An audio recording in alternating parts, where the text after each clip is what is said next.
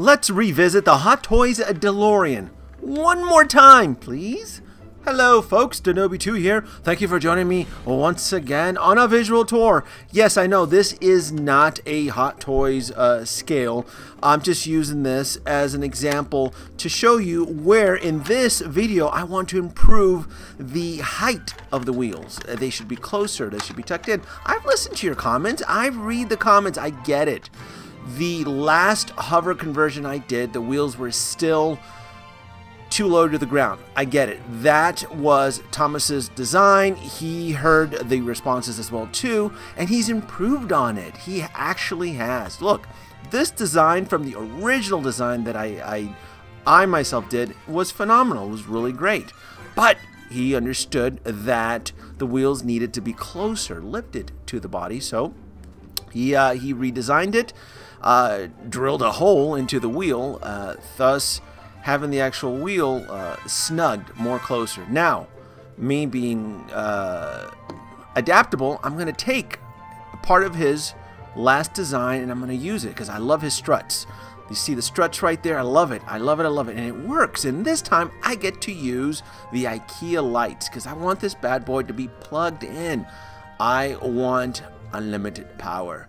Now uh, the screws, uh, those holes right there, I'm, I would, I'm going to be able to uh, run the IKEA power source. I'm going to have to drill, make it a little bit bigger. That way I can get the actual connector slid right through it and pops in right there. And the other hole isn't going to be a big issue because the IKEA lights are going to be covered in. Now that was his original LED light. I'm gonna I'm gonna save it. It just pops right out. It I could maybe use it for another project. Who knows? But it slips right out because it wasn't welded or anything. And using the IKEA foam I can then attach the IKEA light to the actual strut base like so. And thus getting the uh, that nice warm glow through the uh, actual grills. And the uh, the the tube isn't going to be an issue now the screws uh, need to be painted and I'm going to paint the Kia wire there so that way it's, uh, it's blended in alright let's get the DeLorean this is pretty simple here. All right. Uh, it's been prepped up like so. And uh, I'm going to show you how clever, how he's improved on it. Because I love it. I really love it. That's a, that's a washer there, to, a spacer. And I love how he's able to reincorporate the screw, the actual screw, the, the bolt uh, to help uh, add support. And I'm going to just the strut like so. And I'm not going to glue it. I, am not going to glue anything to the wheel. That way I can adjust it uh, accordingly. I've painted the screws. I've painted the cable. So you're not going to see much. And and the fact that it kind of sinks in doesn't bother me because once it's dark and it's lit, it's not going to be an issue. The front wheel fits just as well too. And I love how it's lifted. It, uh, it's it's uh, closer to the body. Uh, as I mentioned in the last video, uh, the actual Back to the Future 2 movie used different versions of the DeLorean. So it, it, it in this customization, it's more of taking a creative license. And I know this is the third time uh, I've uh, customized or kit bashed the Hot Toys DeLorean, but man, this is out of all the vehicles, out of all the every you know Mark One, Mark Two, Mark Three, the hovered DeLorean is by far the best. It's my favorite I'm just, you know, it's a 35th anniversary. Oh, I know. I get to write this off as my 30th anniversary tribute to Back to the Future. Now, uh, I took off Mr. Fusion and the uh, the panel. I'm to attach it uh, back on there. And uh, like so, you can kind of see it on there. Slips it right on. This is one of his best designs. Thomas, if you're watching this, this is one of your best designs right there. The way Mr. Fusion kind of snugged right there. And that little uh, white uh, glue. It's not glue. It's it's uh, more that thumbtack. Now this right here. Oh, John and David, John de Guzman. Oh, buddy, buddy, buddy, buddy. This is it. Um, giving props to John, giving him some credit. Look what he made me. Look what he made me. A die-cast Back to Future Part 2 2015 license plate barcode. Look how purty that looks. Oh my god, look at that. Die-cast stainless steel. He did a phenomenal job. Uh, link in the description if you decide you want to get your own diecast license plate from John. Uh, he's uh, he's based out of the Philippines, if you're if you're wondering. Um, all right, let's power this bad boy up. Look at that license plate. Look at Mr. Fusion. Ah, look at that warm glow. Ah, love this. Love this mod. I, I this is Mark II. I know, I know. You're probably, but Danoby, you've done this. You've done this so many. But look, it I, it keeps getting better. It keeps getting better. Hot Toys though, they're never gonna release the Mark II hover conversion. So this is why this is the uh what I have to resort to. This is what I look at that. Look how snug those wheels are. Look how oh man, and then the glow, the underneath glow. Mm mm mm. And it's plugged in too, super bright. Ah, it's gorgeous. Simply gorgeous. I promise no more Mark II custom uh, conversions, but I this by far has to be the best. This is all right. Got my acrylic base underneath there that was built by uh, by Thomas. And I got my Modu case. Finally, this is my second order Modu case. And it's displayed and uh, and powered up. Simply, simply wonderful. Oh, all right, all right, all right. What, what if... What if we customize it to the Mark III? The Mark III, the Old West. Let's do it. Yes, the Mark III. The Mark III is what we're gonna focus on. Let's tackle on. Let's tackle that transistor box. First thing is first. I had to hire a 3D artist to design a 3D model, uh, thus that I am able to print. I'm not a 3D printer. I outsource everything. Found a guy that can resin print the transistor box that we're going to be using on this Mark III conversion. And I thought he did a good job on it. I thought he did.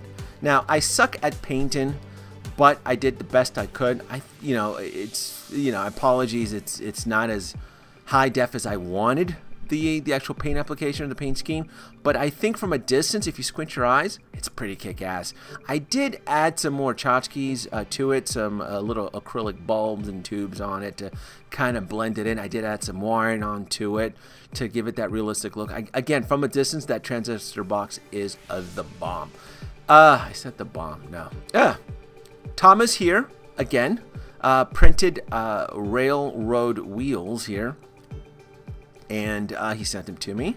I requested them, and I'm going to be painting. This is simple. This is going to be a simple paint job. Acrylic paint, black satin paint. I'm going to be painting the uh, the train wheels. Nice heavy coat. Doesn't have to be perfect. This is the best. This is this this type of, of, of painting I enjoy because it doesn't have to be wheel. Uh, it doesn't have to be perfect. It doesn't have to be detailed.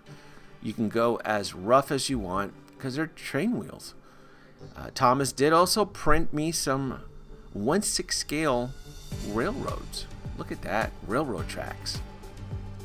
Bang up job on there. And uh, he also had the uh, platforms, I guess you would call those the railroad planks with the with the clip-ins.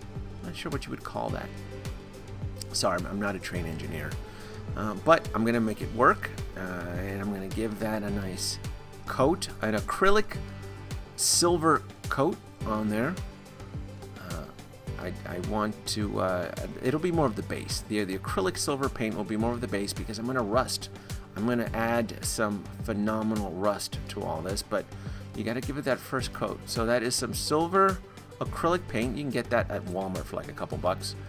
Uh, the following day, the wheels have been painted black and I'm going to use my secret ingredient of real rust. Now this right here is oxidizing iron paint. I love making rust. Mm -mm -mm.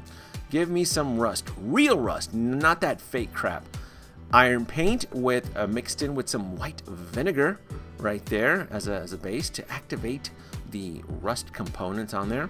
Now, it's it's not an exact science how you make this uh, this solution, but you take some of that thick iron paint right there. You see how it's kind of thick and, and, and cruddy. Mix in some vinegar, and you want to start um, applying this uh, to your to your wheels or to anything that you plan on rusting out. You want to mix it in right. Oh, you gotta.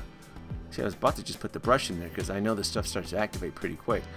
So you got to mix it in, make it kind of soupy and sloshy, and then just apply it to where you want real rust to form.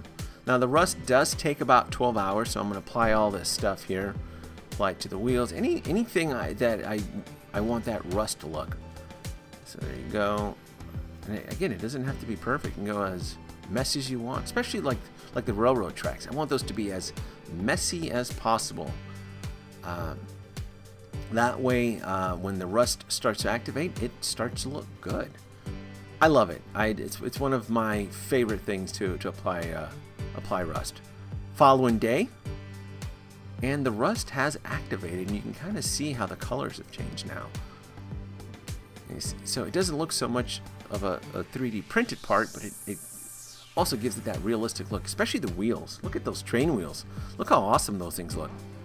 Beautiful. Beautiful, beautiful, beautiful. And I have a rag here so I can take off some of the excess rust. Kind of give it that realistic look. And then, apply, and then once I assemble the tracks, it looks good. Now I'm missing something. I need the DeLorean. The DeLorean is the next step. Where's my DeLorean?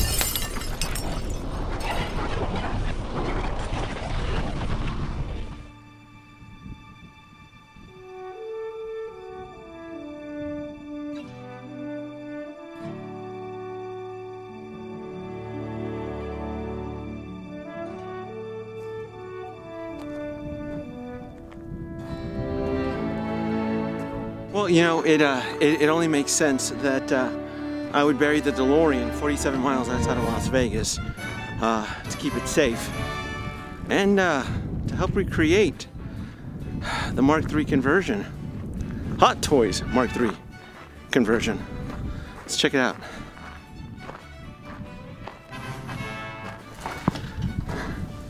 Uh, it can be, uh, be a little bit dangerous here.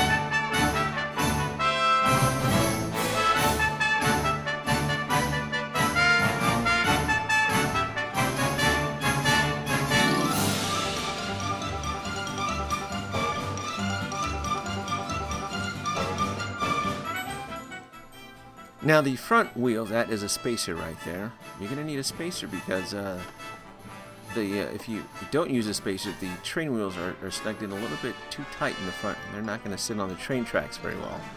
The backs are fine. The back wheels work perfectly fine.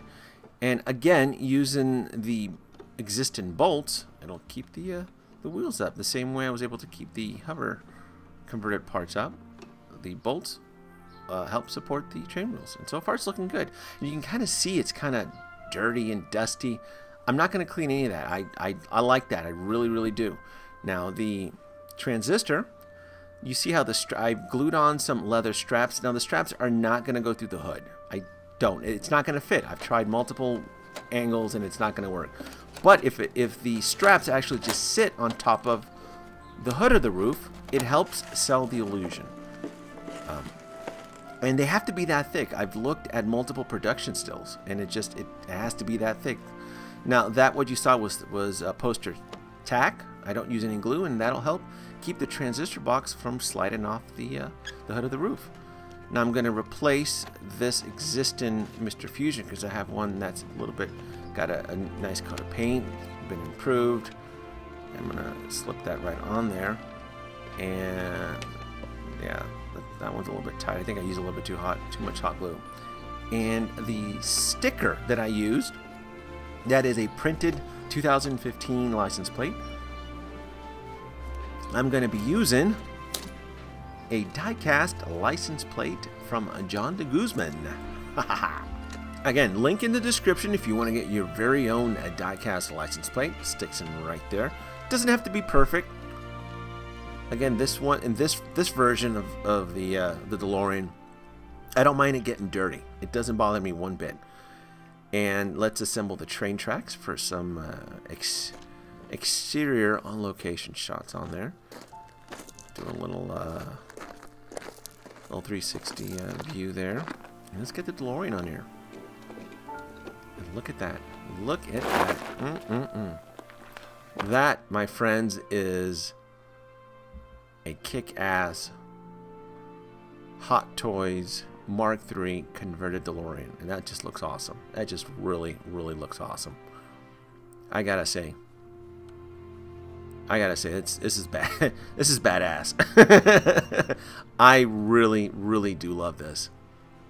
This came out really nice. Something about those train wheels in the old west and, and just being out outdoors filming this on on train tracks.